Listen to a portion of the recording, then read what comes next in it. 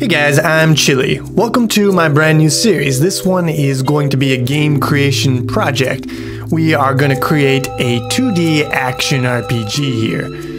This short video is just to give you an idea about what this series is about and how shit is gonna go down. Now there's three main goals I have for this series. The first one is to practice the stuff that was introduced in the C++ tutorial series. The second goal is I want to show off the process of creating a more ambitious project. Uh, up until now in the C++ series, I've been doing simple games like Snek, and I've only been implementing the bare bones features. But this time, I want to create something with a lot more substance, a lot more mechanics and systems. It's going to be far more complex and large. And the reason for that is, well, first of all, I want to inspire other people in the community to, you know, people who have been following the tutorials, who have been leveling up. I want them to take the step to try to create something a little bigger.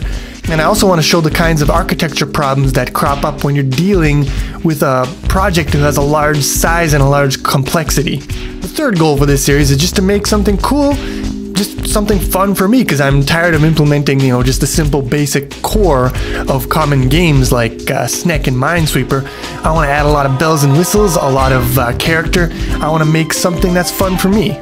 Now you might be asking, well, why is this a separate series? Up until now, you've done the games like Snek in line with the C++ tutorials.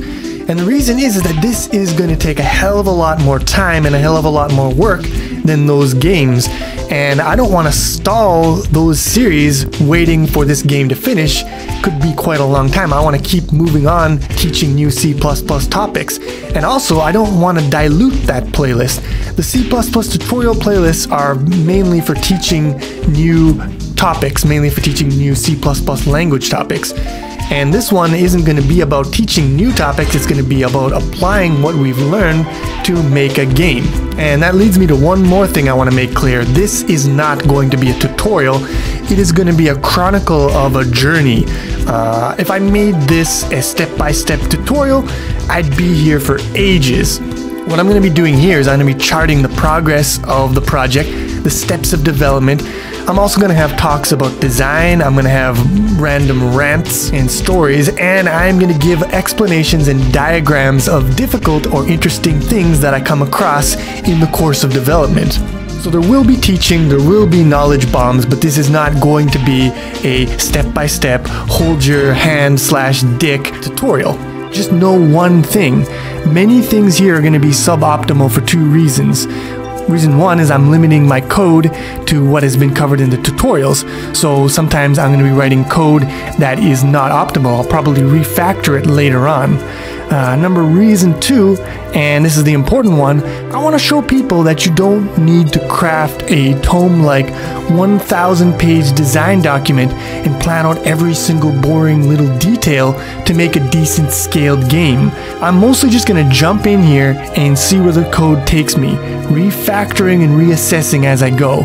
Now, I'm not saying that planning is a bad thing. But what I often see people do is they get stuck in the trap of forever planning, forever hesitating, never pushing a project forward. Proper planning is essential for a large scale project, but as a learner, you're not making some epic scale project to start off with, and if you are, you're fucking doing it wrong. You're making a medium, single purpose game engine to test and practice what you've learned and to get experience and build some intuition about code design and structure and you're not going to build that intuition, that sense, by being a timid little bitch and hesitating at every turn. You build that shit by getting dirty, by taking chances, by making mistakes, and by motherfucking writing some goddamn code, and that's what I'm gonna show here. Now to make up for the lack of handholding, I'm going to be putting a lot more commenting and documentation into the source code itself. And it is kind of expected that you're going to be following along with the code. As usual, the code is going to be on GitHub. Links to all the resources are going to be on uh, the wiki page for this project. So make sure you check the wiki page and you keep checking the wiki page as I update it. Link will always be in the description.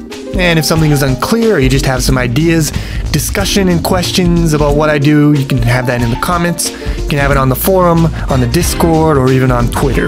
And that's about it. I'm real excited to get uh, started on this journey, and I hope you are excited too. And if you are, uh, it would really help if you click the like button for this video, maybe left a comment, especially for the first video in a series.